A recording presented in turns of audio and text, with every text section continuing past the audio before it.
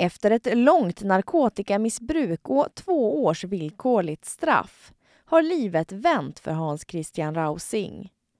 2012 dömdes Tetra Pak-miljardären för brott mot griftefriden efter att hans fru Eva hittats död i parets bostad gömd av sin make som var djupt inne i ett drogmissbruk. Tvångsvården blev vändningen för Rausing och han har nu nått nya höjder i den brittiska eliten.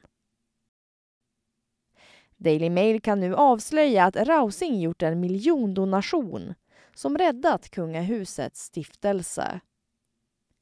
I början av 2017 fick Hans Rausing stor uppmärksamhet efter att han skänkt pengar till ett initiativ mot drogmissbruk som startats av prins Williams fru Kate Middleton. Brittiska Daily Mail har tidigare beskrivit Hans Christian Rausing som extremt generös med pengar. Och nu kan alltså tidningen berätta att han och hans fru är donatorn bakom prins Williams och prins Harrys välgörenhetsframgångar efter en donation på tiotals miljoner till arbetet mot psykisk ohälsa. Hans Rausing och hans barn har pekats ut som Storbritanniens fjärde rikaste familj.